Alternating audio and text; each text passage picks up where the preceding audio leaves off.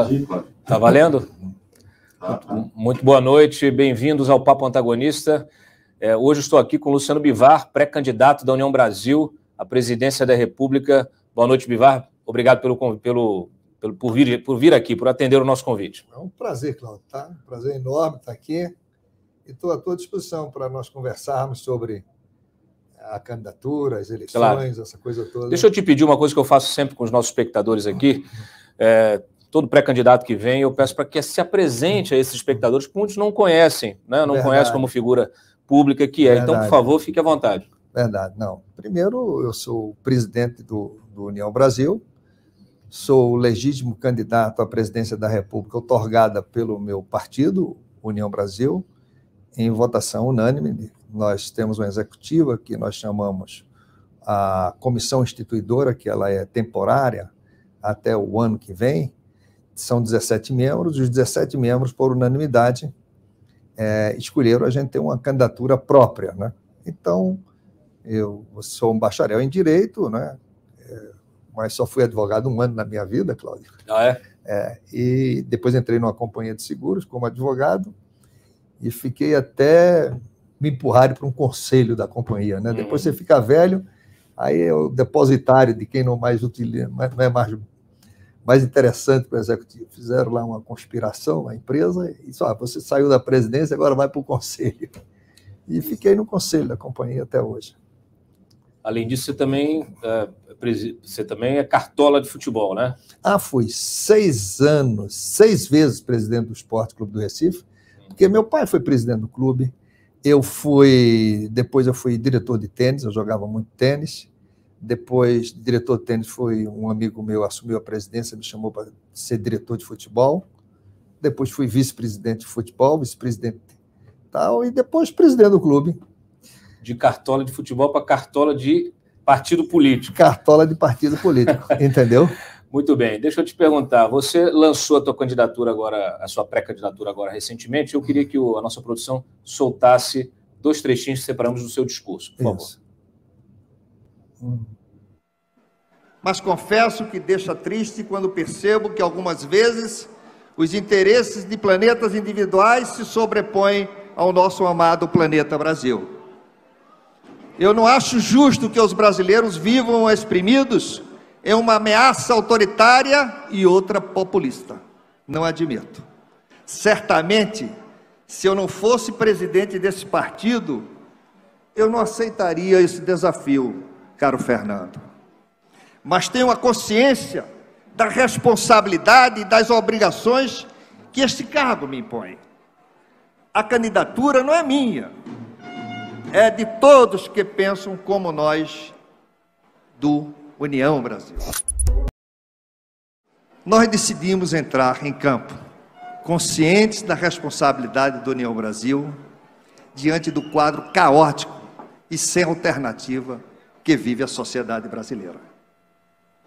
Nós queremos ter torcida, uma torcida que nos ajude a melhorar a vida dos brasileiros, vivendo sobre o medo, a falta de oportunidade e da ameaça de um golpe ou de um retrocesso. Deixar de apresentar um candidato seria um choque duro demais. Seria interromper a esperança da união das duas grandes legendas.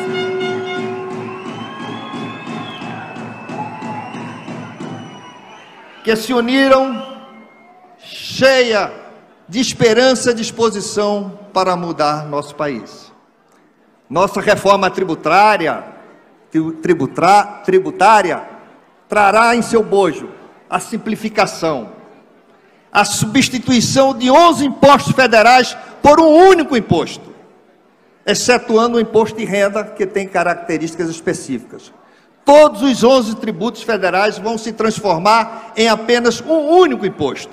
E presta atenção, não será a soma do valor de todos os impostos o imposto único vem para diminuir a mordida, para não aumentar, para não aumentar essa mordida do leão.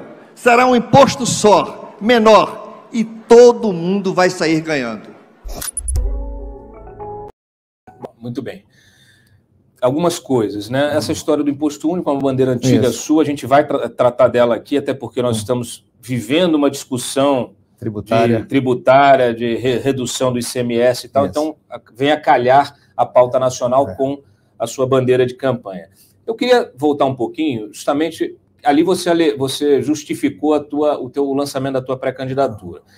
Uh, ele acontece junto com, assim, uh, aí na esteira de várias outras pré-candidaturas da terceira via que uh, naufragaram também. Por quê? Por não contar com apoio popular. Você não vê nas pesquisas de opinião votação suficiente para sustentar essas candidaturas. Isso aconteceu com o Dória, né? isso está acontecendo aí com a Simone, que também não consegue é, sair disso. O próprio Ciro Gomes esteve aqui na sexta-feira conosco aqui no Papo, permanece naqueles 7%, não consegue uhum. avançar.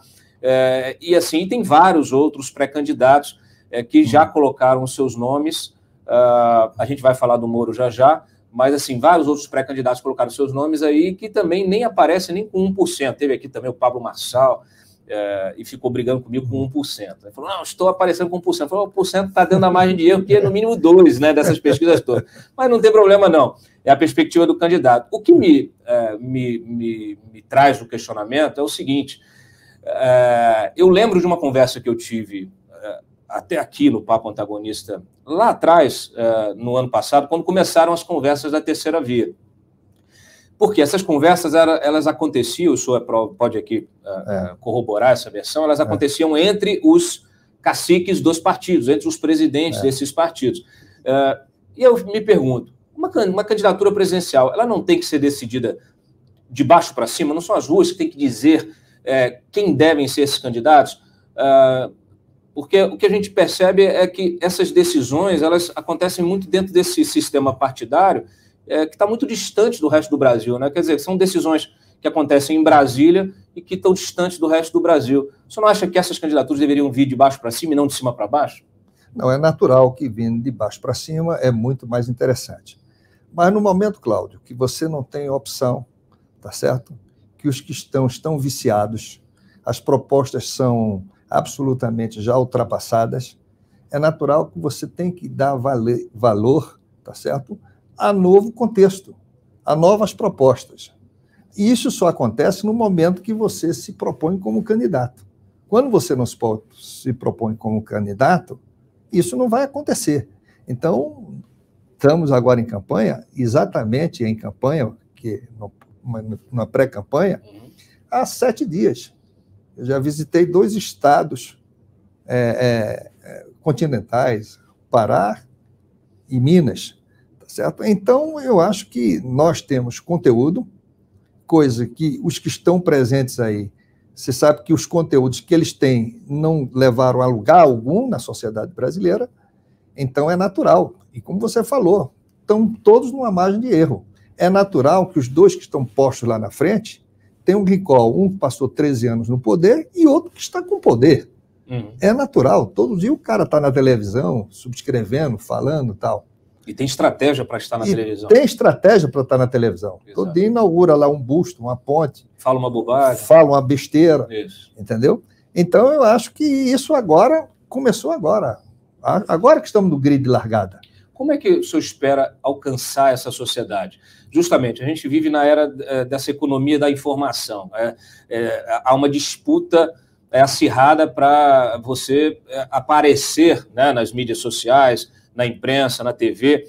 É, isso normalmente acontece, infelizmente, é, é, assim, isso, isso acontece, isso é trazido por, por, por, por esses atores políticos, é, mas infelizmente é, o debate acaba ficando muito superficial. Né? Então, assim, a gente é tragado por essas é, declarações absurdas do Bolsonaro, uhum. e aí que depois são respondidas pelo Lula, e a gente não consegue aprofundar o debate em relação a políticas públicas, a projetos de, né, de, de, poder, de governo, na verdade, que nenhum apresenta, né, nenhum deles tem projeto nenhum. Uh, como é que o senhor pretende entrar nessa, nessa, nessa disputa, conseguir a visibilidade necessária, conseguir que a imprensa lhe dê espaço, é, provocar esse debate. É, qual é a sua estratégia para isso? Bom, eu fico feliz com você levantar pela primeira vez e se preocupar em conteúdo. Porque, na verdade, a, a imprensa ela quer mesmo uma coisa para vender o, o jornal. Uhum. Então, nós temos o conteúdo. Isso a gente acredita que tem. Nós, é, contrapondo um pouco o que você falou, você tem que estar seguro com o teu sistema partidário. Você não pode ser candidato sem o partido estar de acordo. Uhum. Por isso a razão de que outras candidaturas naufragaram, naufragaram porque não tinha essa sustentação partidária. Então, nós temos a sustentação partidária. Estamos saindo de uma base bem firme do que é necessário para você ter uma candidatura definitiva e sólida. Então, primeiro, o sistema partidário te apoiar. Então, é o nosso partido que está apoiando. Segundo, o conteúdo. Devemos, temos que ter um conteúdo para ter a credibilidade da imprensa. Eu, como sou realmente, não sou uma celebridade, eu sofro um preconceito. Tá? Então, tem que vencer, quer dizer, meu, todo o meu processo de marketing também é vencer também esse preconceito. É dizer quem, quem nós somos, o que queremos e para onde queremos ir, para onde e qual é o objetivo que a gente quer. Então, eu estou muito consciente de que a gente vai trazer uma alternativa. Vamos ser exatamente aquilo. Mais de 50% da população, Cláudio, não tem, não estão é, confortáveis com essas opções que estão postas aí. Uhum. Então a gente acredita nessa esteira. Então é em cima disso que eu vejo isso. Eu hoje eu vi um jornalista do teu grupo de amigos dizendo assim: não precisa você votar num para derrubar o outro. Você tem outra opção, qualquer que seja, mas você precisa procurar e ter discernimento como brasileiro, como jornalista, de mostrar que existem opções reais com conteúdos reais que não é de hoje, não é eleitoreiro, são coisas que há 20 anos, 30 anos que a gente briga nesse mesmo contexto. Sim. E hoje, com a força musculatura do União Brasil, é o momento de nossa voz chegar lá.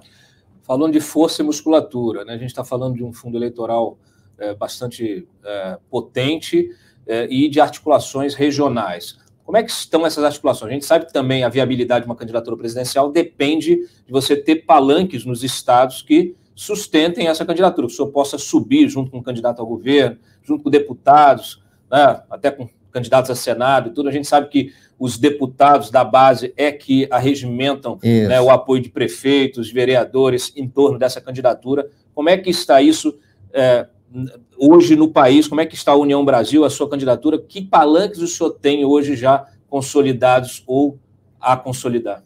Olha, podemos dizer que em todos os estados da federação nós teremos palanque tá certo? Não importa se seja o governador, ou o deputado, ou o presidente da Assembleia, nós teremos um palanque. Uhum. E eu irei em todas as unidades da federação, porque eu sou candidato, União Brasil, à presidência do país. Então, é natural que todos os estados são importantes e que a gente leve a nossa mensagem. O União Brasil tem diretórios em todos os estados da federação, tem representatividade, temos 56 deputados federais temos 13 candidatos a governador, temos é, 10 senadores. Então, a gente tem uma força muscular importante. Se todos vão ostensivamente e dar seu suor de maneira. Porque, claro, você mesmo em candidatura de, de governador, de prefeito, primeiro o cara de vereador, quer primeiro se eleger vereador para depois ele estar tá pensando no prefeito. Claro. Tá certo? Então, eu entendo isso. Agora, é preciso que realmente, no momento que eu vença esse preconceito de, da imprensa de não ser uma celebridade, tá? a gente começar a apresentar nosso conteúdo. Aí eu tenho certeza que chegar lá, ouvido lá na, lá, lá na rua. Sou, o ACM Neto, por exemplo, na Bahia, vai abrir o palanque para o senhor? Ele vai subir no seu palanque, ou no do Lula, ou no do Bolsonaro? Olha, o ACM disse outro dia que o voto dele é meu. Eu disse? Ele disse. Ah, ele disse. Ah, ele tá disse. Meu voto é do presidente do meu partido, Luciano Bivar, lá numa cadeira de televisão na Bahia. Uhum. Tá certo? Agora, ele está empenhado, é muito importante o estado da Bahia, tá certo? Uma campanha de governador, não é fácil um estado continental com aquele, e a tomada de tempo dele é imensa. Agora, nem por isso, dentro desse tempo, nós temos nossas articulações dentro da Bahia. Eu sou nordestino, certamente irei à Bahia. Uhum tá certo? No momento oportuno, irei à Bahia e tenho certeza que na Bahia a gente tem uma grande representatividade. Eu pergunto do ACM, porque a ACM, Ronaldo Caiado foram figuras é, que resistiram muito à candidatura do Sérgio Moro é, na, na, União Brasil, né? É, a candidatura à presidência, né? e, e isso, é, enfim, isso não é segredo para ninguém. o Sérgio Moro veio para o partido, ele disse isso aqui, já ciente de que não teria legenda, mas com alguma esperança de que pudesse, enfim, tentar evoluir ali nas conversas e conseguir essa, essa abertura. Não conseguiu, né?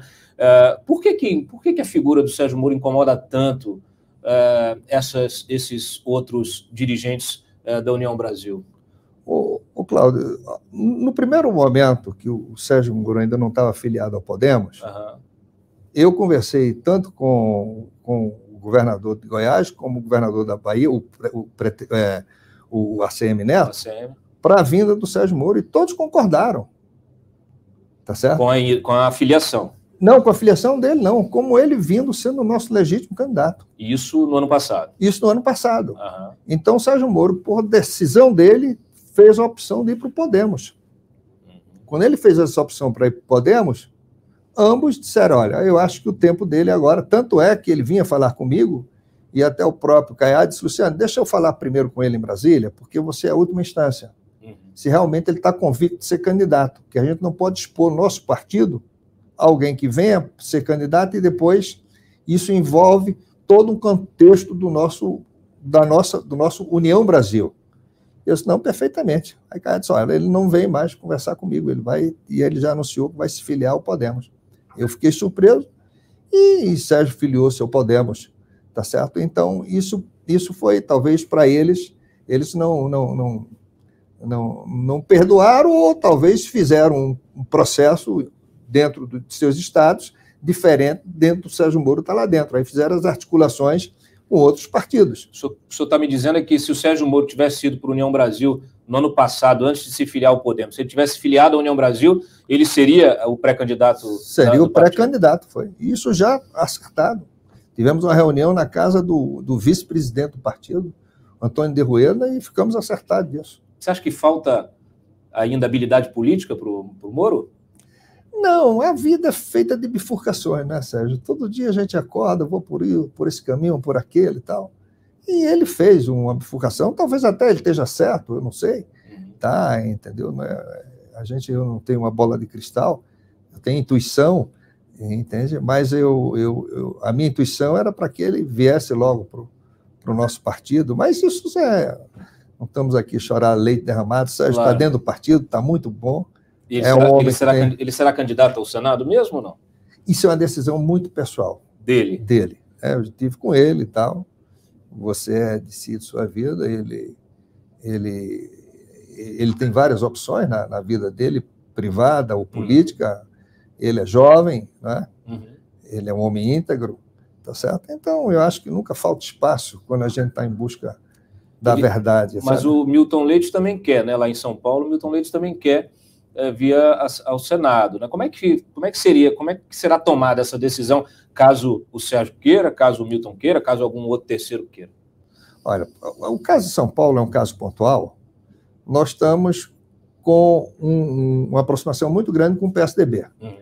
E, o, e o presidente do PSDB lá, coincidentemente, é o candidato a governador, que é o Rodrigo, é o Rodrigo Garcia, uhum. tá certo? Rodrigo Garcia é o cabeça da Chape. Isso. chapa. Então, o Rodrigo Garcia quer ganhar a eleição e vai ganhar a eleição, porque ele é um jeito muito competente. Uhum. Agora, ele é que vai realmente dizer: olha, para eu chegar lá, meu sentimento é esse, eu quero que minha chapa seja formada dessa ou daquela forma. Uhum. Tá certo? Então, nós dependemos efetivamente, dentro dessa coligação, dessa aglutinação de dois grandes partidos, PSDB e União Brasil, no caso de São Paulo, o candidato a governador é que realmente vai fazer suas escolhas.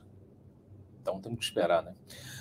É, porque isso envolve justamente essas articulações, essa base de apoio no isso. interior do Estado, tudo isso que a gente estava começando aqui isso, isso. É, anteriormente. Ah, bom, a gente teve, é, e aí eu vou voltar nessa questão de União Brasil, mas não vou falar do Moro mais não, uhum.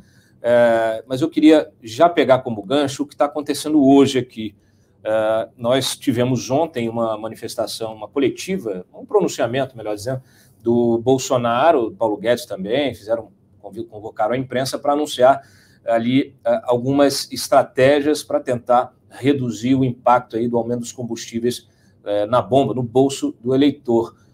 Freitas, por favor, solta o VT ali daquele trechinho da coletiva para a gente introduzir o assunto. E estamos propondo aos seus governadores o 17% que fica para eles, em uma vez aprovado o projeto de lei complementar, nós, o governo federal, zerarmos o ICMS do diesel e nós pagaríamos aos seus governadores isso que eles deixariam de arrecadar. Também no gás de cozinha, nós zeramos o imposto federal PIS/COFINS desde o ano passado e desde que os senhores governadores entendam que possam também zerar o ICMS, nós, governo federal, ressarciremos aos seus governadores o que eles deixarão de arrecadar. Também na gasolina e no etanol, lá no projeto de lei complementar, cai para 17% o ICMS e o governo federal se dispõe a zerar o seu tributo federal, PIS, COFINS e CID. Ou seja, a gasolina também deixaria de ter imposto federal. Então, essas propostas que foram colocadas à mesa hoje para os dois presidentes das casas, eles levarão para os senhores deputados e senadores, mais senadores que na Câmara já foi aprovado o projeto, em havendo entendimento por parte dos senhores senadores, em se aprovando o projeto de lei complementar e em se promulgando de forma bastante rápida uma emenda à Constituição, isso se faria valer imediatamente na ponta da linha para os consumidores, então, essa diminuição de carga tributária para enfrentarmos esse problema fora do Brasil, que tem reflexo para todos nós aqui dentro. A ideia é justamente que uma parte que venha por esse teto de 17%, essa seja a colaboração dos estados e municípios, e o governo federal, por outro lado, transferindo recursos para qualquer redução de impostos que vá além disso. Então, se vai haver uma redução de diesel, se vai haver uma redução uh, dos impostos federais também, uh, como o, o, a CID, uh, e piscofins, nessa PEC dos combustíveis e da energia, uh, o governo federal se dispõe a transferir recursos, que é uma forma de fazer o repasse para estados e municípios, ressarcindo, transferindo receitas para que eles então possam reduzir. Bom, a gente sabe que é, a gente chega a esse ponto justamente porque até agora não conseguimos é, proceder uma reforma tributária decente, né? Isso, Muitas propostas, isso. O texto que está lá. É, eu queria, antes da gente entrar no debate em si da reforma do imposto único, que é a sua bandeira, eu queria saber qual a sua opinião sobre essa solução, considerando a emergência e considerando todo o debate envolvendo aprovação de PEC para compensar, transferência de recursos, é, queda de arrecadação, queda de superávit, teto de gasto para, para os governadores, enfim, como é que o senhor enxerga essa discussão? O senhor acha que é preciso dar uma solução? Você acha que o encaminhamento que essa solução está sendo, é, o encaminhamento dessa solução, como o governo está é, endereçando, está correto? Ô Sérgio, como você falou que aqui, Cláudio, né? Como você falou aqui. Desculpa, que... é que você está com o Sérgio Moro na cabeça. É. Todo mundo só te pergunta o Sérgio Moro. É, é, mas viu, Cláudio? fica à vontade. Quando a gente está aqui no papo formal, vou falar uma coisa bem chula. Isso é o samba do crioulo doido. Uhum. Tá certo? Porque é o seguinte: o governo, é, eu acho que é um abuso, tá certo? Você mantém três anos de aperto ao funcionalismo, uhum. é, há uma inflação galopante, e a cada três anos você dá uma esmola eleitoral. Precisamos acabar com isso. Isso é uma esmola eleitoral. Agora, por outro lado, num sentimento macro, quando você retém recursos que irão para o Estado, o Estado também tem seus projetos sociais, tem seus comprometimentos sociais. É um cobertor só. Você puxar, fica os pés de fora. Puxa os pés, fica a cabeça de fora. Não tem. O Paulo Guedes, se ele é, tem um mínimo de, de, de pensamento macroeconômico dentro da economia, sabe que ah, o dinheiro é só um. tanto faz ou para outro faz, tá certo? Então, esses projetos sociais, tudo, podem ser também levados a postos. Não é só a gasolina que está causando a inflação. E a gasolina e não é, não é problema apenas dos governadores de Estado, não. A gasolina é problema de obras estruturantes, que não foi feito nenhuma, Sérgio. Nós temos 13 refinarias no Brasil, tá certo? E não houve nenhum investimento. Muito pelo contrário, a principal refinaria nossa, uhum. que era de, de, de, de Maracaípe, na Bahia, foi vendida a um fundo árabe. E a gente continua importando 30% de gasolina. Exportamos petróleo cru e importamos a, a gasolina, a, o petróleo refinado e não se faz nada. Agora, dizer que isso é problema de governo de Estado, não, isso é problema de planejamento. Você tem ideia, Sérgio? O, desculpa, Cláudio. Você tem uma ideia, Cláudio? A gente está num país que não tem um ministro do planejamento. Uhum. Como é que você pode funcionar sem um planejamento? Mas se o senhor fosse presidente hoje, estivesse no lugar do Bolsonaro, com toda essa emergência. Problema inflacionário é um problema mundial. A gente está vivendo a guerra na, na, Ucrânia, a Rússia, que são fornecedores, inclusive até de fertilizantes, de uma série de, é, de matérias-primas importantíssimas, commodities. Você tem esse impacto global, porque a economia hoje planetária é toda interligada e a gente está sofrendo também aqui. Não somos os únicos, né? Todo esse problema de, de impacto nos combustíveis, a gente vê, inclusive nos Estados Unidos, é, algumas medidas muito parecidas com essas que estão sendo tomadas aqui. Nova York, por exemplo, tirou lá é, um imposto estava é, sobre, sobre o combustível, lá 16 centavos na bomba, para poder baixar. É, se o senhor não concorda com essa solução, se o senhor fosse presidente hoje, qual, qual seria a sua solução para esse problema emergencial? Apesar de todo de o senhor ter aí mencionado uma série de questões estruturantes, estruturais, né, a gente tem um problema emergencial, conjuntural, que uh, a, a, a sociedade espera que o poder público dê algum tipo de de resposta, se o senhor fosse o presidente? Não, a gente está em estado de guerra. É claro que as coisas emergenciais são, são necessárias. Né? Tá, Para isso, até há poderes constitucionais que você pode, em estado de emergência, fazer algumas medidas excepcionais. Então é natural, se a gente está em estado de guerra, é isso. Mas esse estado de guerra foi causado pelo próprio, pelo próprio governos que antecederam. Uhum. Tá certo? Isso é que a gente não pode. Por isso, desde o começo desse governo, que o, o ministro, o, o, o diretor-geral da Receita Federal tinha o nosso projeto e foi defenestrado por conta do nosso projeto. Se tem implantado nosso projeto, se ele tivesse força de ter implantado o projeto, ele foi defenestrado, hoje ele não estava com esse problema, porque a gente tinha uma alíquota simples e que não ia causar esse tipo de coisa. Eu tenho 26%, tá certo? Absolutamente que diminui o valor da gasolina dentro da simplificação tributária estudo feito por técnicos economistas é, é, insuspeitos de, de, de, qualquer capacidade científica e técnica. Então, eu acho que, que não pode colocar isso no colo. Eu acho que a responsabilidade é do governo federal, que ele tome as medidas emergenciais. Agora, vamos levar o país à bancarrota? Vamos. Agora, precisa saber também se essas medidas vai atingir lá na ponta, uhum. no bombeiro vai sair lá quando você botar teu combustível. Eu não sei. É, você estava falando do Marco Sintra, né? Da, da, que ele.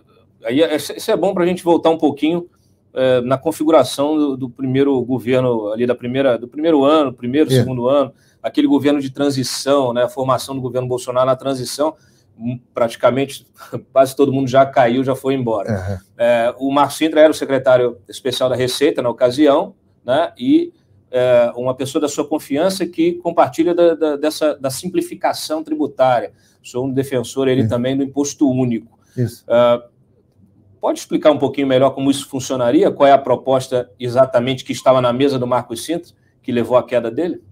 Não, primeiro a simplificação tributária, eu sempre dizia a Sintra, Sintra, eu acho que a força do União Brasil, de você estar lá, tudo, eu acho que também tem muito a ver com o teu relacionamento com Guedes. Na ocasião era o PSL ainda. Né? Era o PSL, entendeu? Agora, eu acho que é importante a gente fazer essa reforma tributária, tá certo? E essa reforma tributária passa por um imposto único. Uhum. Um imposto único federal. Você substitui 11 impostos federais por um único imposto. Ou seja, não é a soma dos 11 impostos federais tá certo? é, é, é um imposto muito menor do que a soma desses 11 impostos, onde todos vão pagar. Aí você diz, como é que pode ser um imposto ser menos do que a soma dos 11 impostos? Porque a gente a, aumenta a base tributária. A gente sai de uma base tributária que é, é impostos declaratórios para um imposto digita, digital. Então, isso faz com que toda essa base tributária, todos vão pagar. E todos pagando, todos pagam menos.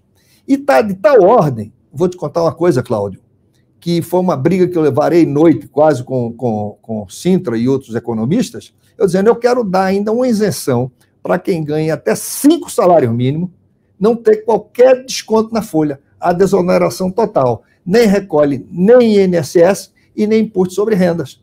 Quem ganha 6 mil reais, a, a valor de hoje, não vai ter nenhum desconto. Se o salário é 4 mil reais, vai receber 4 mil reais sem nenhum desconto na sua folha. Isso está dentro do nosso projeto. Não estou vendendo aqui ilusão, Cláudio, e é uma coisa que eu tenho absoluta certeza e convicção científica e histórico da nossa economia que isso é viável, é factível. É, eu me lembro dessa discussão do Marco Sintra, é, porque começou, veio a ideia do imposto, desse imposto digital, e ele foi batizado, inclusive pela, pela imprensa, o próprio ministro Guedes falou em algum momento, que seria uma coisa similar ao, à CPMF, e aí pronto, aí já, já colaram como se fosse a CPMF é, digital. Que não tem nada a ver. É, e, e, e, que aí todo mundo já entrou em pânico, porque assim, pô, mais um imposto, né? Acabou de dizer que isso. ia chegar e tal. É, e isso evoluiu, eu acho que o presidente aproveitou e. Foi, demonizaram ele com isso. Foi.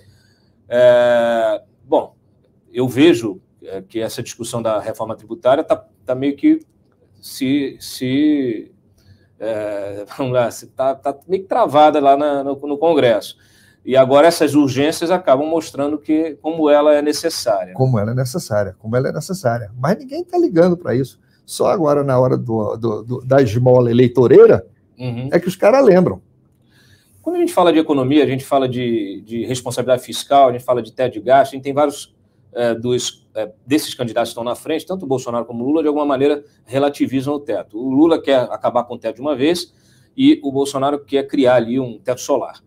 É, qual é a sua opinião sobre o teto de gastos? é, e a própria lei de responsabilidade fiscal. Precisa ser atualizada, precisa, precisa incorporar novas, uh, novos protocolos, novos padrões, de acordo com, com as necessidades que estão impostas, que são, são, estão aí, né, em função dessas emergências todas. Como é que o senhor enxerga isso?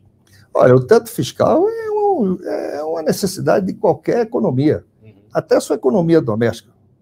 Ah, Cláudio, você chega em casa, minha mulher, hoje, a gente, esse mês, a gente só pode gastar tanto. Se gastar mais do que aquilo ali, você vai tomar dinheiro emprestado, tá certo? E depois vai rolar uma dívida ali que é impagável e não sei o que, é que vai acontecer na tua vida doméstica, porque resolveu, teve problema econômico, reflete em tudo na vida da gente. Uhum. Então, eu acho que você tem que ter um teto fiscal estabelecido, como foi discutido em lei. O relator, naquela época, eu me lembro, foi o Ricardo Fiuza, eu era parlamentar, Uhum. E brigamos muito por esse teto fiscal, tá certo? Essa responsabilidade fiscal. E isso foi feito na época. Então, hoje, como é que você vai romper esse teto fiscal e dizer, não, seja o que Deus quiser. Então, o presidente vai lá, emite o RTN, emite não sei o que, já estou falando coisa do passado, uhum. emite letras do Tesouro Nacional, vende lá na Bolsa lá do, dos Estados Unidos, tá certo? Título da dívida pública, e amanhã? Como é que é isso aí? Qual é a responsabilidade fiscal que tem o país? Tá certo? Então precisa ter. Eu não sei. Eu não sei se eu, se eu sou mais empresário ou sou do que político, tá certo? Uhum. Porque eu não entendo, eu fico perplexo com essas atitudes absolutamente malucas. Não tem teto fiscal, não tem, não tem, temos, temos que, que estatizar tudo, como se o Estado fosse o grande o grande provedor, tá certo, do desequilíbrio social, que não é, você tem que produzir riquezas, você tem que prestigiar quem produz riquezas, tá certo? Porque daí vem realmente a força econômica de um país e minora seu desequilíbrio social, sua desigualdade social. Então é esse sentimento que eu tenho, que nós temos isso em propostas estabelecidas. Reduzir o tamanho do Estado, privatizar. Não, não é reduzir o tamanho do Estado, é o Estado ser exatamente aquilo, é ser um Estado que deixe realmente que a economia flua, hum. tá certo? Dentro da, da, da, da, produção de que cada um possa realizar seus objetivos de acordo com seus ideais. Agora, não é um Estado laissez-faire, não é? Não, pode até ser, na, na, etimologicamente, valeria hoje é uma palavra ruim, mas não.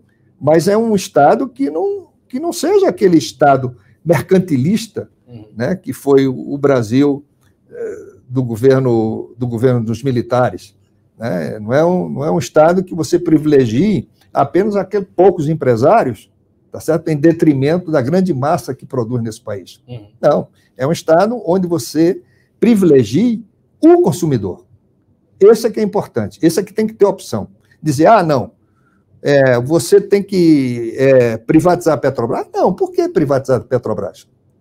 Deixa a Petrobras, ela tem um know-how muito grande, muito bom. Os técnicos que estão lá são, fizeram curso no exterior, é uma empresa é, perfeita, tá certo? Agora, é preciso que tenha também um contraponto. Tenha outras empresas que ela possa competir no mercado. O monopólio é que é ruim tanto privado quanto público. O liberalismo por si só, ele não tem a ação e a vontade de tomar conta, tá certo? Dos bens públicos. Só, Esses têm que existir. Você acha que tem que é, mudar essa, essa regra de paridade do, do, do, preço do combustível com, com lá fora, com o dólar? Isso, isso, o isso preço você, do barril aqui com, com isso você muda no momento que existir uma empresa aqui que também seja de prospecção, uhum. similar à Petrobras, que seja de distribuição, que seja de refino, tá certo? Você tem que ter empresas aqui que, que façam competição com a Petrobras, porque o grande é, é, é, juiz desse, dessas contendas de preço vai ser o consumidor. O consumidor vai dizer, não, eu vou usar combustível do posto X. Você acha que ainda dá tempo, considerando aí todos os os novos protocolos, mudança de matriz energética para menos poluente. Você acha que é, ainda há tempo para atrair investidor privado para explorar aí o resto do pré-sal e ainda extrair essa riqueza para como propulsor aí da economia? Cláudio, nunca é tarde para a gente aprender e para a gente amar. Uhum. Então, para você construir, você tem que partir, tem que sair, tem que estar tá dentro desse processo para mudar. Se você não sair disso, vai continuar sempre. Mas tem que ter um start, tem que ter um V0. Ah, daqui para frente. Tem que ter coragem. Ainda no seu programa, no, no programa que o senhor está tá elaborando aí, o senhor chamou, o senhor convidou Mendonça Filho, né, o Isso. próprio Sérgio Moro, é. para contribuir, o Mandetta, né, eles vão contribuir na elaboração desse programa de governo. É, tem mais alguma outra é, proposta assim que o senhor vale a pena aí trazer para expor aí para os nossos espectadores dessas suas do que está sendo elaborado? Olha, o Cláudio, deixa eu te contar. Eu conversei longamente, o Mandetta já mandou um, um projeto, o Moro também, sobre segurança pública, o Mendonça também, o Fernando Filho, que foi ministro de Minas e Energia também, eu, eu, eu, sou muito, eu falo tudo. Eu, você me traz aqui que você perguntar, eu falo. Ótimo. Hoje, por exemplo, tem uma conversa nossa do meu vice-presidente, uhum. tá certo? Com o Meirelles, que também está vindo para o projeto. Hoje conversei também com o Sintra, uhum. tá certo? Então estamos com um processo de pessoas, tá certo? Que conhecem, que foram exitosos nas suas gestões. Então a gente não está chegando aqui com fazer um um paralelo ao passado, com uma República das Alagoas, não. Estamos chegando aqui com uma República brasileira, de gente que foi testado, teve êxito. Vamos fazer um projeto Brasil do tamanho que merece a sociedade brasileira. Esse projeto, a sua candidatura, ela abriga, é, ela está aberta a alianças com outros nomes? Eu sei que o senhor tentou, é, em vão, aí, fazer uma, uma aliança com, com a própria Simone, com os outros nomes da terceira via. Agora, a Simone está aí com a candidatura uh, dela e ainda não sabe, a gente não sabe ainda se vai ter um vice, que vice que vai ser, efetivamente se vai ter viabilidade ou não, mas uh, temos também o Ciro. Sou, sou está uh, aberto a trazer, a conversar, a se aliar a um projeto é, que finalmente tenha mais musculatura para chegar a, a, um segundo turno, por exemplo, para enfrentar, para tentar romper essa radicalização? Claro, o aspecto político é importante, a aglutinação Sim. de força. Agora, eu vejo o PSDB, o partido, similar ao nosso, como era o DEM. Uhum. Entendeu? Nós temos, nós bebemos da mesma fonte, os três partidos. A qualidade de inteligência de intelectuais que tem dentro, intelectuais políticos do, do PSDB, é muito grande. Então, oxalá nós pudéssemos estar juntos nesse processo de reformulação desse pensamento arcaico do Estado brasileiro, que chega a ser quase mercantilista. Uhum. Tá? Então, eu acho que o PSDB é um partido que tem muita. E, por outro lado, é um partido onde eu tenho impressão que é feito o União Brasil. Não estou aqui para falar de outros partidos. Eles podem juntarem-se de repente, né, sua, sua executiva, e definir o seu projeto majoritário, diferente do, de outros partidos que estão muito. são partidos que são mais para a confederação do que partidos políticos. Então, eu tenho impressão que o PSDB é o que mais se aproxima para a gente ter realmente essa homogeneidade de pensamento e em defesa, não só de hoje, mas também de amanhã do nosso país. Então, eu estou ouvindo aqui uma possibilidade do PSDB vir para dentro da sua candidatura com um vice, ou substituir, o senhor virar vice de alguém. O senhor gostava muito do nome do Eduardo Leite, né? lá quando estava naquela, naquelas primeiras conversas. Não, ontem eu conversei com o Eduardo Leite. Uhum. Uma conversa amena, mas conversei com ele, tá certo? Não para ser. Porque o União Brasil já passou por uma convenção, melhor dizendo, uhum. uma pré-convenção, porque a pré-convenção legal dentro é só em agosto, uhum. mas já fizemos, todos subscreveram, somos 17 membros, como eu te falei, todos subscreveram, não foi 99%, não foram 100%, então já apresentaram um candidato a presidente. Uhum. Então, para você tirar isso, tem que fazer nova, nova, nova reunião desse conselho instituidor, que não é fácil, uhum. tá certo? Então, isso já foi feito. Agora, nada impede, tá certo, de que a gente abra conversas. Agora, é preciso que nós avançamos muito. Nós temos nosso projeto econômico, nós temos nossos ideais. Então, é preciso que estejam alinhados nesse nosso projeto, porque nós estamos muito convictos Sabe, Cláudio, que a gente pode mudar esse país. Eu tenho certeza que a gente vai mudar. Essa desoneração que a gente vai fazer da folha, de quem ganha até 6 mil reais, isso é uma realidade. Tá certo? São mais de 20 milhões de pessoas declarantes e 38% da, da, da população brasileira que ganha menos de 6 mil reais. Muito bem. Quando o senhor fala dessa aliança, dessa simpatia né, que existe de um certo alinhamento, uma certa aproximação com o PSDB, do União, da União Brasil com o PSDB, é, eu gostaria de perguntar o seguinte: qual o PSDB? O PSDB do Dória, do Aécio, do Eduardo Leite, Qual o PSDB? Olha, eu acho que todos nós estamos conscientes, acho que todos temos é, o mesmo pensamento. O Dória, o Tasso, o Aécio, o Leite, temos todos o mesmo pensamento. As questões internas dele eu desconheço, que eu não sou do PSDB. Uhum. Mas eles pensam iguais a nós. Eu acho que não tem nenhum problema. Quando eu vejo esse cenário, Bivar, eu fico assim, né? O senhor mesmo mencionou no, lançamento da sua pré-candidatura é, essa, essa necessidade que o senhor viu de se colocar como candidato. É, e quando a gente olha esse cenário de, de pré-candidatos, de pré-candidaturas, a gente é, vê que a, a, o, a política brasileira, ela e a política partidária, especialmente, ela não produziu novas lideranças. Né? Então, assim, são, são os mesmos nomes de várias outras uh, eleições, alguns até eram opositores, agora estão juntos, como no caso do Alckmin e do Lula. Uh, então, assim, parece que aquele jogo aí muda um jogador daqui dali, né? mas você não tem jogador novo, você não tem nenhum craque surgindo, você não tem é, é, nenhum camisa 10, você não tem, sabe, nomes realmente novos. Eu sou como presidente de um partido, eu fico me perguntando aqui, o que está que que acontecendo com os partidos? Eles deixaram de se dedicar a formar gestores e lideranças políticas? Não, não. Eu, eu acho o seguinte, veja bem. Primeiro, é como você falou, há um preconceito Né? Ninguém deixa que apareça uma nova, uma novidade. Há um preconceito normal. Isso é da natureza humana, nós somos reacionários. Eu não sei o que, é que aquela pessoa pensa. Né? Porque antes do discurso vem o homem.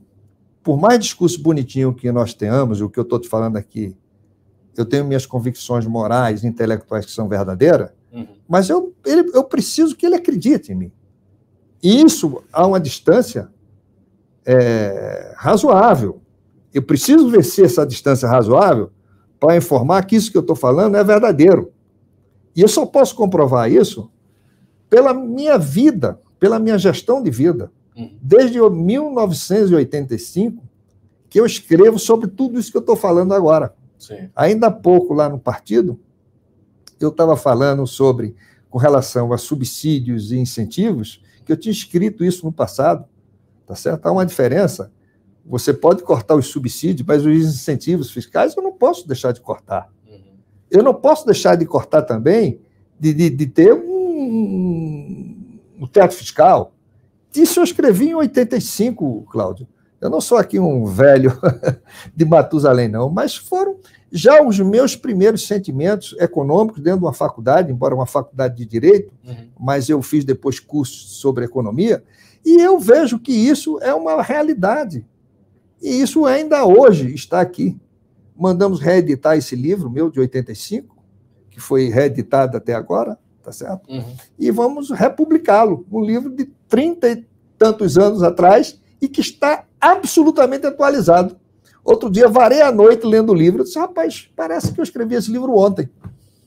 Isso só mostra que os nossos mazelas, nossas mazelas permanecem presentes do dia a dia. Exatamente. O senhor, como presidente de um partido que hoje tem aí, é, me corrija se eu estiver errado, tem acesso a uma fatia do fundo eleitoral de um bilhão, é isso? Uhum. O senhor concorda com esses valores? O senhor acha que é necessário um bilhão de reais para um partido é, tocar uma campanha, várias campanhas, é, ainda que a gente considere o Brasil um país de dimensões continentais, houve mudanças na legislação eleitoral justamente para reduzir o tamanho da campanha, para se gastar menos. E hoje, com tanta tecnologia, né, a gente está fazendo aqui a nossa entrevista numa plataforma uh, digital, uh, tudo se torna também um pouco mais barato. Precisa desse valor? Senhor é a favor disso? É contra? Como é que o senhor pensa disso? Deixa eu te falar uma coisa, Cláudio. Eu falo tudo. Eu não, eu não, não tenho aqui nem, nenhuma campanha eleitoreira. Deixa eu te contar. Se você não tem um fundo especial, você só ia ter dois candidatos: uhum. o candidato do presidente da República e o candidato dos governadores. Porque a tendência do político é estar ter o mínimo de poder para poder fazer eleição. Usar a máquina para. Usar a máquina para fazer. Uhum. Quando você vem com fundo especial de campanha, aí é um contraponto a isso. Você observa que agora, na janela partidária, como a gente chama, a mudança de um candidato de um partido para o outro, uhum. nós mantivemos 56 deputados federais. Mantemos 10 senadores. Mantivemos 13 pré-candidatos a governador do Estado.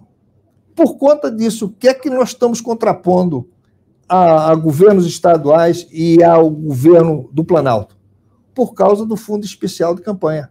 Porque se não houvesse, pode ficar certo que hoje a União Brasil não tinha nenhum candidato. E dá para gastar isso tudo, dinheiro, numa campanha? Ou em várias campanhas? Olha, você, se você dividir isso pelo número de candidatos, de acordo com o TSE, dá 10.500 reais para cada candidato. É, mas a gente não tem é, ainda uma regulamentação que garanta essa divisão de forma democrática. Isso fica muito na, nas mãos do próprio cacique. E aí a gente também percebe reclamações, queixas de outros candidatos, de quem está querendo entrar na política, de que normalmente esses caciques partidários acabam privilegiando os candidatos que já têm mandato. Olha, Cláudio, um problema que, que nós temos, todos os partidos enfrentam, é o seguinte: a gente tem que ter muito cuidado. Você veja, embora eu nunca fui nem indiciado nem nada sobre o negócio de laranja, mas a narrativa da imprensa que prevalece. Aí só lembrando aqui, está é, é, citando o caso das candidaturas laranjas. Das candidaturas laranjas. Surgiram em função das, é, das cotas para candidaturas femininas na campanha de 2018. Foram abertas algumas investigações, é, mas nenhuma. O senhor, não foi investigado sobre isso? Nenhuma. E acho foi citado em algumas reportagens, foi, não foi investigado. Foi. E acho que foram investigados, hum. os quatro que foram investigados, foram, foram, foram, foram o Ministério Público pediu arquivamento. Mas o que, que, é? Quando não tinha o crime, foi uma interpretação equivocada? Que não, que não tinha um crime, não tinha. Elas fizeram a própria campanha delas. Uhum. Agora tiveram poucos votos, é isso que eu estou te dizendo. Uhum. Então, se você põe dinheiro equitativamente, tá certo? A todos os candidatos, você de repente vai ter um candidato que vai ter um valor muito grande e vai ter poucos votos. Vai cair nesse problema de candidato laranja, uhum. o que a gente não pode deixar ocorrer. Então é preciso que você tenha uma percepção, claro, a percepção humana ela é falha, de saber qual o candidato que pode chegar. Aí você aposta nele. Independente um... de cor, de raça, de religião. Mas tem uma coisa nesse, nesse mecanismo que me incomoda, que é, por exemplo, é, quando a gente. É, eu até escrevi um artigo um dia desse sobre isso, quando é, por exemplo, uma possibilidade, o Sérgio Moro vir candidato a deputado federal, é, ou qualquer outro puxador de voto. Né? A gente tem essa, essa coisa do puxador de voto. Puxador de voto, que é uma celebridade, uma personagem conhecida, né, uma, uma autoridade, enfim, alguém que vem para a campanha que já tem um recall, já tem o seu público, já tem sua audiência, e normalmente essa pessoa, esse candidato é o, é o preferido do partido, porque é, ele é eleito, e aí no coeficiente eleitoral ele tem uma explosão de voto, tem um, muita votação, e isso acaba é, abrindo uma janela para que outros deputados sejam eleitos é, dentro dessa votação, às vezes com, com uma vota, às vezes esses deputados individualmente têm uma votação menor do que outros que acabam ficando de fora. Isso nos criou um problema de representatividade, só de concordar comigo que hoje é, o Congresso, a Câmara dos Deputados eleita em 2018, é só só 5% é, desses deputados foram eleitos com voto direto, né, 27 deputados. O resto vieram nessa né, nesse bojo aí das candidaturas de puxador de voto. E aí lá no próprio União Brasil de São Paulo, por exemplo, quando eu escrevi esse artigo, é, fui pegar lá, ver quem é que estava, é, quem eram os pré-candidatos possíveis de serem eleitos junto com o Sérgio Moro, por exemplo. Tinha lá o Kid Bengala, por exemplo. O que, que o Kid Bengala acrescenta numa campanha ou ao Congresso Nacional, à Câmara dos Deputados? É, o, o fato é o seguinte: o nosso sistema é partidário, uhum. tá certo? Ou você acredita no partido ou não tem jeito. Nós temos uma candidata que teve 2 milhões de votos em São Paulo para deputado estadual. No momento que ela sai do partido, agora, tá certo? Ela pode até isoladamente ter uma votação expressa. Janaína. É, Janaína, mas se ela está no partido, tá certo? A eleição dela para qualquer cargo seria muito representativo, porque é a marca do partido. E as pessoas não entendem isso. Tá certo? Você tem, eu tenho deputados que estavam no partido, tinha toda a notoriedade. Era líder, era presidente de comissão, saiu do partido, saiu da telinha da principal televisão que tem, uhum está ferrado. Então, o partido político é importante para você ver a marca. Ah, fulano é do PT. Ah, no PT eu não voto. Ah, é PT? PT eu voto. Uhum. Aquilo é União Brasil. União Brasil eu voto. Por isso a minha briga muito grande para a gente, é, embora não seja os egressos que formaram União Brasil não sejam novos, mas União Brasil é um partido novo. Então, o número 44, a gente vai ter que colocar com toda a força e mostrar o perfil que é o 44, que é um partido de, é, a favor da liberdade econômica e a favor da liberdade política. Então, isso é que é a União Brasil. E isso é que nós vamos perseguir e mostrar ao público brasileiro que União Brasil é um partido com cara e feição definida. Mas você acha que não dá para melhorar um pouquinho esse sistema para a gente não ter Tiriricas e até outros candidatos. Muitas vezes assim, você vai ver um ranking aí de políticos, igual eu trouxe aqui ontem um, um, um, diretor lá daquele ranking dos políticos. Aí você vai ver os políticos, tem vários políticos lá que você nunca ouviu falar, né? Ali, tá, Câmara dos Deputados, 513 deputados. Tem deputado que é, sujeito nunca fez nada na vida, permaneceu sem fazer nada e vira uma inutilidade, quer dizer, vira apenas um gasto público. É, não dá para o que, que dá para melhorar nessa, nessa, nessa, nessa política, para melhorar a representação, a representatividade? Afinal, a gente está na República, né? Para melhorar a representatividade é, na Câmara dos Deputados, que é a Casa do Povo, o que, que é possível fazer? O senhor consegue enxergar? O senhor, como experiente nessa, nessa área, como dirigente partidário, o senhor enxerga algum caminho para tentar melhorar essa, a qualidade desses representantes, para que a gente não fique só nessa coisa de ah, é, traz o influencer aqui que tem 10 milhões de seguidores no Instagram, porque aí ele vai fazer uma bancada enorme e o que nos interessa é o fundo partidário, é o fundo eleitoral, que esse é o pensamento de muitos dirigentes partidários hoje. É. Não, natural que essas distorções, como nos Estados Unidos, o republicano e o democrata têm 200 partidos políticos, mas eles é que têm a grande maioria nos seus estados.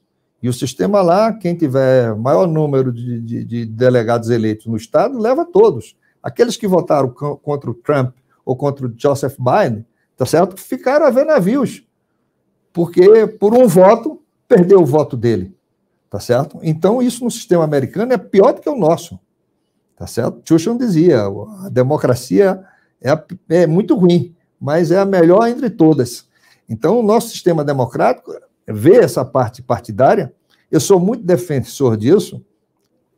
A legislação cada dia avança. Né? Hoje criamos realmente a cláusula de desempenho, uhum. que foi muito boa, tá certo? E esse ano já vai peneirar mais ainda, entendeu? Acho que vai ficar no máximo uma dezena de partidos políticos.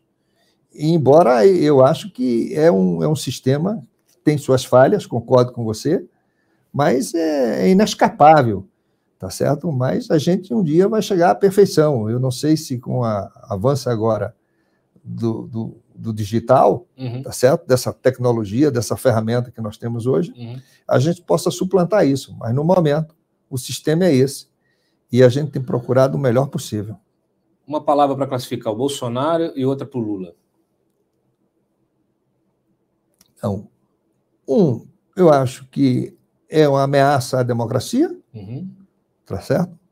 E outro é um pensamento extremamente retrógrado à economia moderna. Perfeito. Freitas, põe o, aqui, o videozinho é, da mesa da, dos cumprimentos do lançamento da pré-candidatura do Bivar, por favor. Laia, laia, laia, Num jogo tão importante não se pode jogar, nem só pela esquerda nem só pela direita. Se o Brasil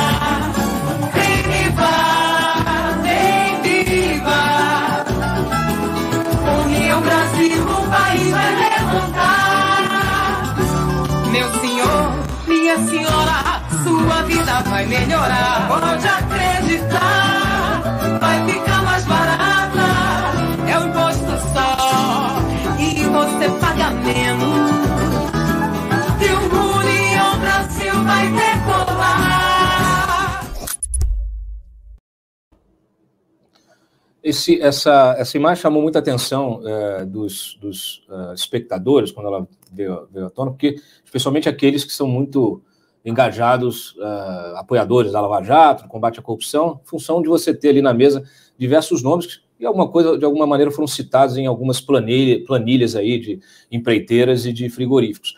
Uh, o senhor falou que pediu para o Moro fazer um projeto de segurança pública, vai ter também projeto para combate à corrupção? Naturalmente, naturalmente. Eu acho que a corrupção ela, ela, ela, ela é muito nefasta para qualquer país, mas a má gestão é pior ainda. Eu acho que o maior terrorismo que a gente tem é uma má gestão. Isso é incrível. E isso a gente vai redirecionar. Quando a gente junta corrupção e má gestão, então. Então é o céu. Vamos ter um país desenvolvido. Acho que é o que a gente está vivendo hoje, não? Tivemos aqui com o Luciano Bivar. Muito obrigado uh, pela presença aqui no Papo Antagonista. O programa permanece aberto aí para futuras conversas. Boa noite. Solta uma vinheta aí que a gente vai continuar com o programa. Aconteceu, você fica sabendo aqui. Papo Antagonista.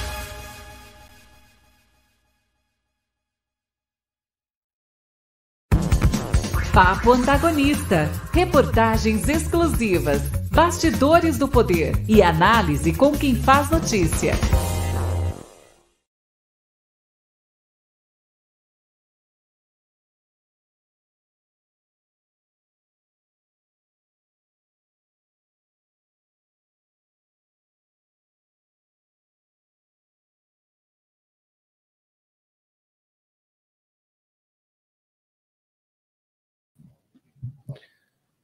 Muito bem. É, aqui ao vivo, né? Então a gente sai dali, vem para cá, só para alguns registros é, importantes aqui, é, finais, né? Nós é, tivemos é, ao longo da, do dia, é, trouxemos uma série de bastidores em relação a essa história da, do ICMS. Né?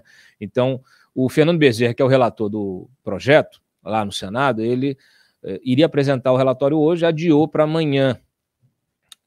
Dentre outras coisas, adiou por quê? Porque Primeiro que os governadores continuam pressionando. Inclusive, o Rodrigo Pacheco disse que vai conversar novamente com os, governadores que alegam queda da arrecadação e tal. Isso é uma questão, inclusive, a ser debatida, né? Porque queda de arrecadação uh, pode não afetar tanto o gasto. Por quê? Porque você já tem teto de gasto. Então, na verdade, você teve aí governadores formando superávit, e esse é, essa é a principal alegação do governo, da equipe econômica, para é, impor essa solução. É, os governadores não teriam é, do que reclamar, porque apesar desta queda, haverá uma compensação de 25,7 bi e, no final das contas, os governos estão superavitários e não teriam como gastar é, qualquer arrecadação a maior. Isso acontece com o governo federal também, que está superavitário, por quê? Porque você está pagando muito imposto e a gente vem batendo recorde, é, recordes de uh, impostos, né, uh, de arrecadação, mês a mês aí estamos batendo recordes. Bom, uh, o Fernando Bezerra também recebeu algumas emendas no seu relatório. Uma do Fernando Collor, outra de um senador aqui do Mato Grosso, o Fábio, pode botar na tela, é, que fala justamente, eles defendem que essa, esse teto de 17% do CMS seja estendido aos alimentos da cesta básica e também ao etanol, tá? Biocombustível. Não acharam aí, não? Tá no site. Ah, tá, tá na pauta, deixa eu ver aqui,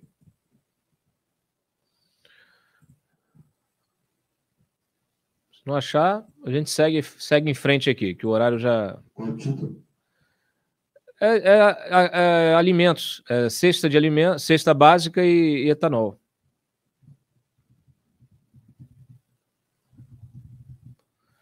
Emendas ao relatório do ICMS tenta reduzir esse. É, tá aí.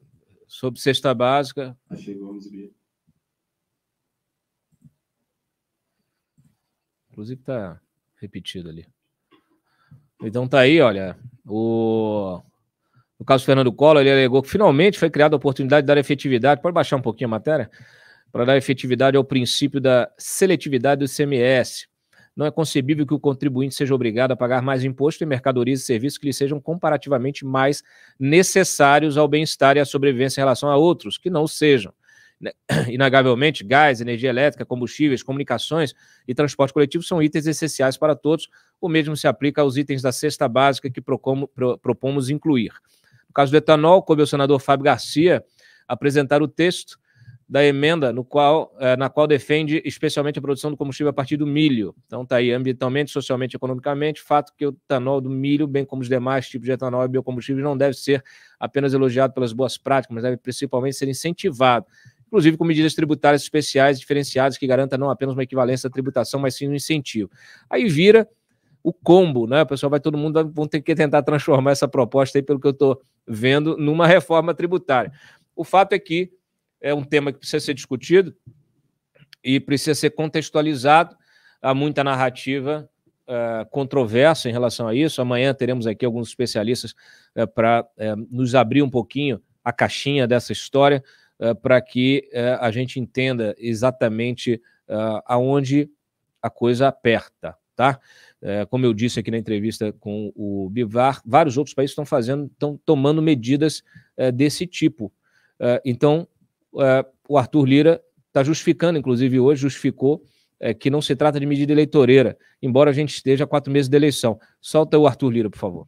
As matérias, para que a gente, numa visão de união, de discussão ampla, sem nenhum tipo de galhardia, sem nenhum tipo de autoritarismo, nem absolutamente nenhum tipo de, de, de, de autoria desse projeto ou daquele, possamos discutir esse assunto com imparcialidade. É no momento que está perto das eleições? É. Nós vamos deixar o Brasil virar uma panela de pressão e essa panela de pressão explodir para que a gente possa cuidar dos vulneráveis? Não. nós temos que cuidar dela, desafogando a pressão, trabalhando em prol de saídas que tenham lastro na responsabilidade fiscal, mas que olhem para o social. Nós temos irmãos brasileiros dos mais diversos lugares do Brasil sofrendo mais do que a média do Brasil. Então, a, a nossa visão é essa. Eu faço questão de deixar isso bem claro. É a PEC de proteção aos mais vulneráveis nesse momento de pressão que vive o mundo com um processo de inflação mundial e um processo de crise de combustíveis e de energia também mundial.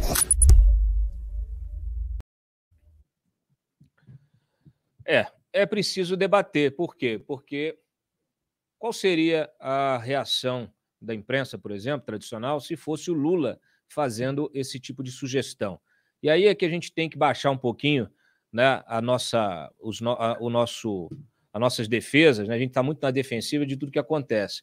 E a gente tem que começar a pensar, é, de fato, nas, na, na consequência prática dessas medidas, que são emergenciais, assim como aconteceu com o orçamento de guerra durante a pandemia se não fossem as decisões tomadas no âmbito econômico durante este eh, aquele momento, eh, provavelmente eh, teríamos tido um colapso econômico. e aí é o seguinte, quer dizer, a gente continua vivendo, e aí é um problema, claro, tem um problema estrutural enorme aí, tem, mas a gente está vivendo crises conjunturais seguidas. Né? Então, a pandemia foi seguida dessa guerra lá na Ucrânia, que também trouxe consequências para é, toda essa matriz energética atual para vários países. Muito bem, vamos para o STF. Solta a vinheta rapidinho que eu vou beber uma aguinha. Aconteceu, você fica sabendo aqui. Papo Antagonista.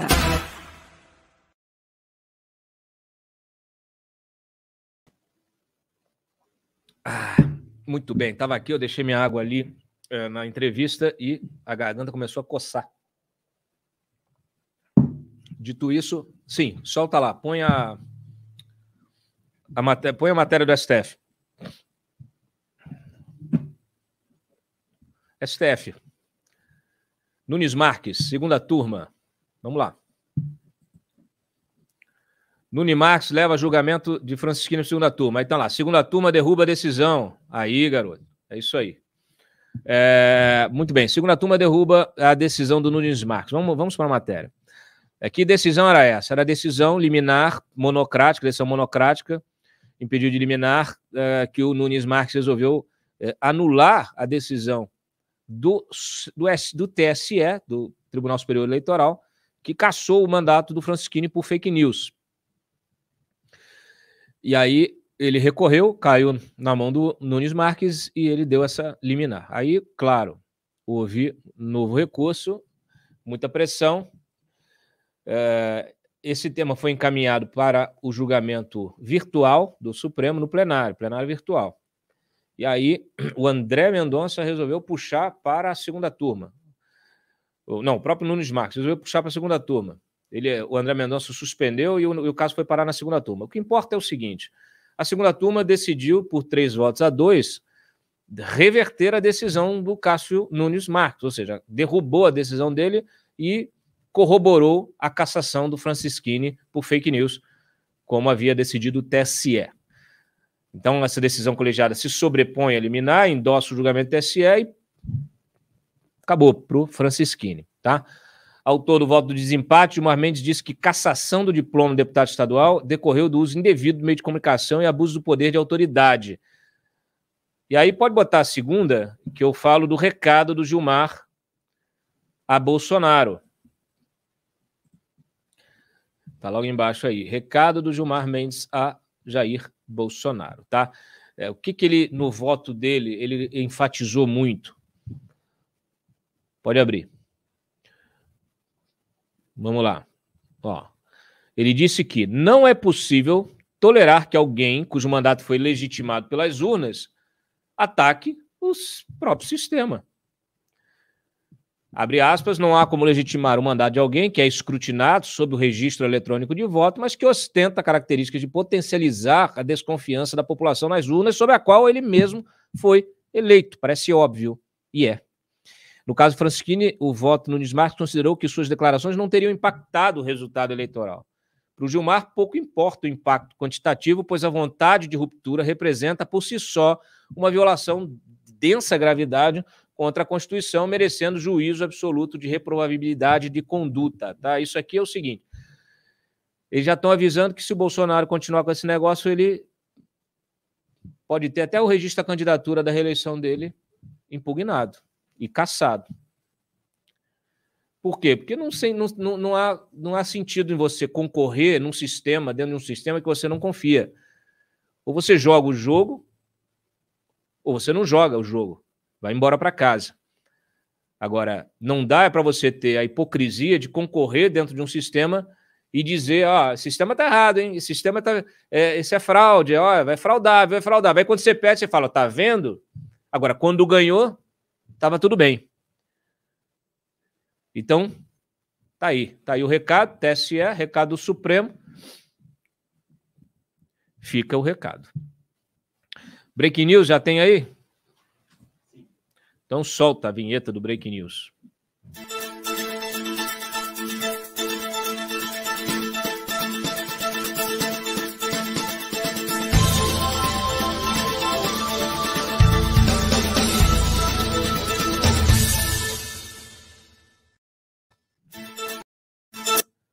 TRE barra transferência de domicílio eleitoral de Sérgio Moro. Olha, posso baixar mais um pouquinho.